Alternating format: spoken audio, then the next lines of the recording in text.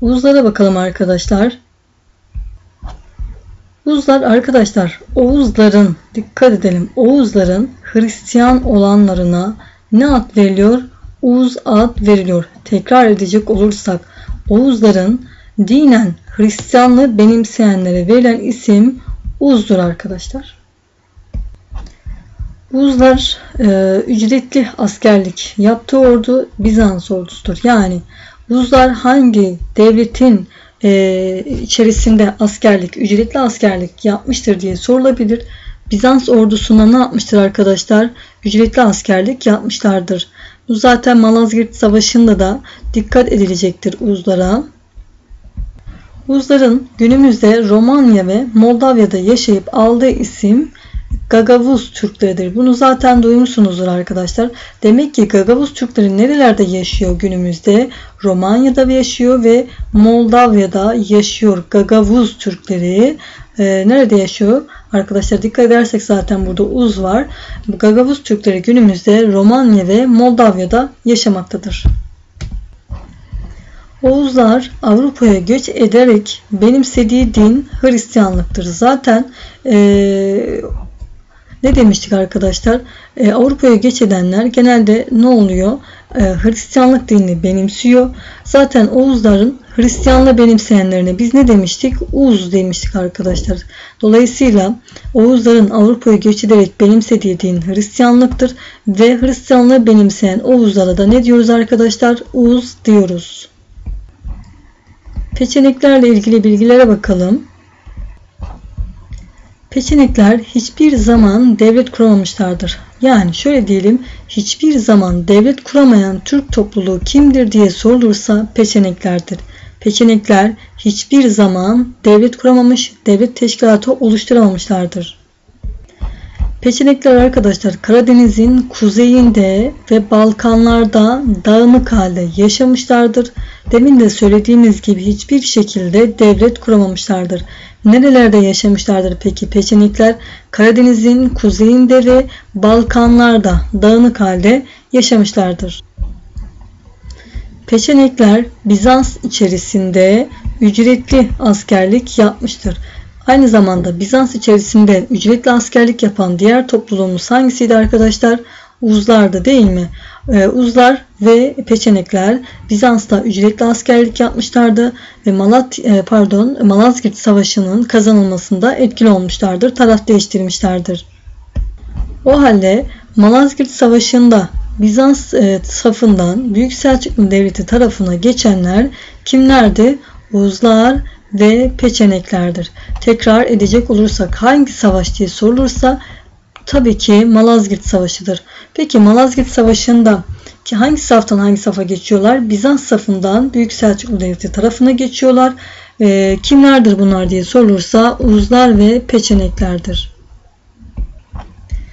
Arkadaşlar günümüzde birçok hazine peçeneklere aittir. Neden peçeneklere aittir? Peçenekler e, nedir? Hep bir askerlik yapmışlar. E, hep ücretli bir askerlik yapmışlar. Dolayısıyla e, paralarını biriktirmişler ve hazinelerini ne yapmışlardır? Oluşturmuşlardır. E, dolayısıyla birçok hazinenin sahibi kimdir?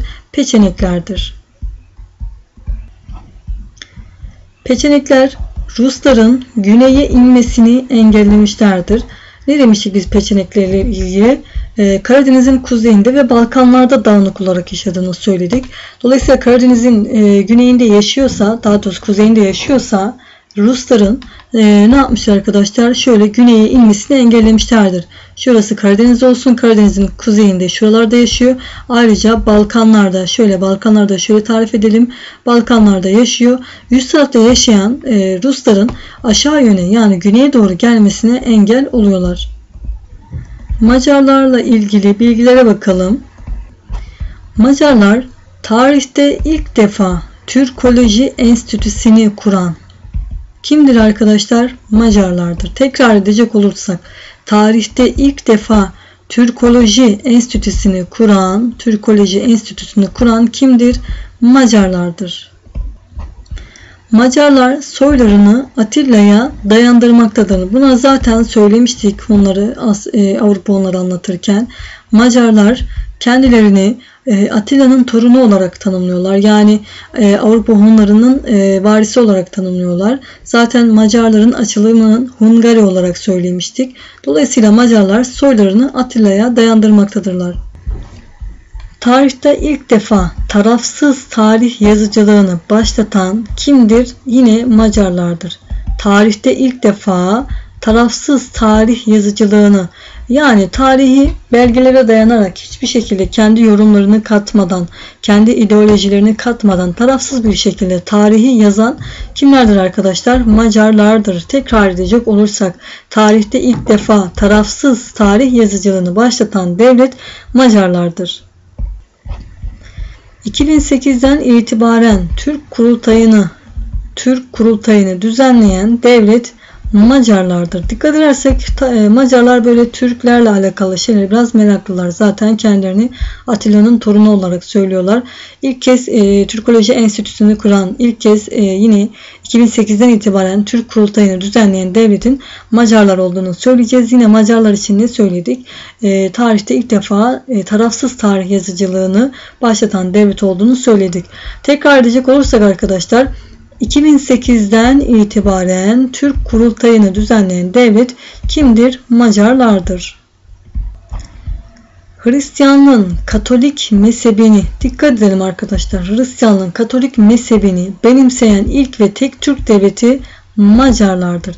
Şimdi Hristiyanlığı ilk kez benimseyen, Hristiyanlığı ilk kez kabul eden Türk devleti diye sorulursa kimdi arkadaşlar? Avarlardı. Yani Hristiyanlığı ilk kabul eden Avarlar. Ancak Hristiyanlığın dikkat edersek Katolik mezhebini benimseyen ilk ve tek Türk devleti Macarlardır. Bu e, ayrıma dikkat edelim. E, tekrar edecek olursak Hristiyanlığı eğer bize Hristiyanlığı ilk kez benimseyen Türk devleti diye sorarsa kim diyeceğiz? Avarlar diyeceğiz. Ancak Hristiyanlığın Katolik mezhebini benimseyen ilk ve tek Türk devleti diye sorulursa cevabımız ne olacaktır? Macarlar olacaktır.